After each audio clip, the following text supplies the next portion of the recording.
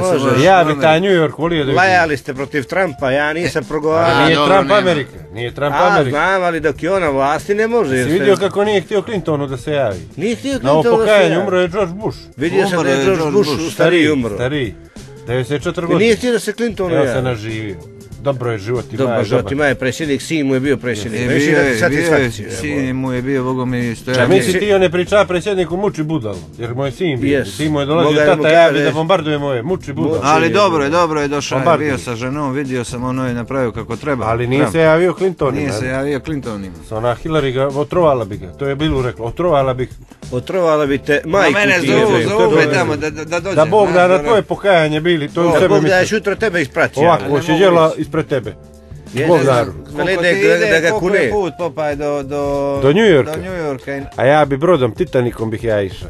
Kad ide On je potonuo. Kad kreće Titanic. Ja bi, ne mogu avion mi je predugo da, da letim, u, da sam iznad okeana, toliko u, na nebu. A da ne A mogu da se spasim.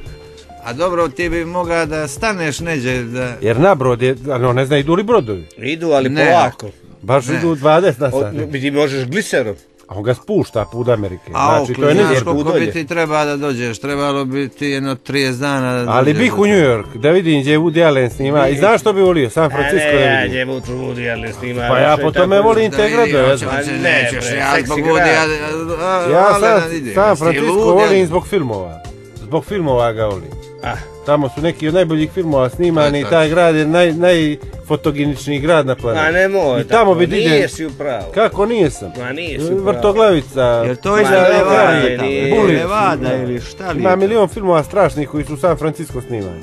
E, Ali bogovi je velik, je velik. ulica je interesantan. ono, je. je, Po- je, je, Policijske je, je. potjere kad se, kad, kad se deru A u kolima po dolje. pa. počere, Đulit. Sve je to jasno, sve je to jasno, ali, je, ali isto ravnina čudna. A i lijepa je, lijepa je San Francisco. Ili je zapad, nemo me zajeba s druge strane. Ili, evo, to je, Zonjo je bio onu planinu, onu dolinu spomenika. Zonja ti je zbilja bio u Ameriku, evo viš, kakva je je Amerika, ništa ne priča. Kakva je Amerika, Super. dobro. Ovo je li dobra? Bili živije, može se živjeti tamo. Može. Ima li tamo onih otrova, ono, stobi i flipsi, ono što ti voliš, one Nema, rudice, da. on voli one rudice da jede. ono. Zajebano je tamo ako se razboliš, mogu te bačiti. Nema, daš, koliko je doktor tamo košta.